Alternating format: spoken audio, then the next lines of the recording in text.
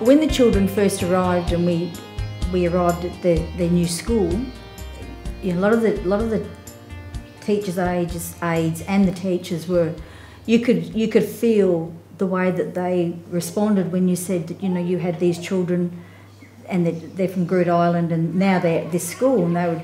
One of them actually made the comment, "Oh, there's our taxpayers' money at work." So we had to reassure them at that stage, and we spoke with the principal and said that, explained the situation as it was, that it did not come from their pocket, as she put it, that it was from the royalty money. Tradition around the world. Around the world, what sort of food do you like to eat? Where do you go to school? How do you celebrate special days? Do you play any sports? They really are like little sponges wanting to learn. I think that that comes out in in the reports that we get back from the school, and, and not just the school, but the general public with these children. The the general public, I think, sometimes when they see seven children with an old couple like us, they think, "Oh my goodness, what's this going to be like?" And and so often we get complimented on the children's manners hmm. and their behaviour, how well behaved and how how good mannered these children are. So that's a credit to, to the children, I think.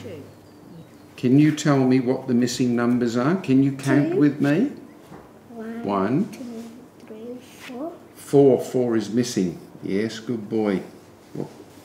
When we talk about education, eh, academic education, uh, but there's also the life skills side of this, which uh, we teach um, far, far and uh, beyond just the ABCs or the three R's.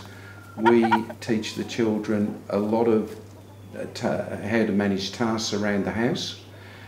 Uh, I, I ha- often have the children outside working with me outside.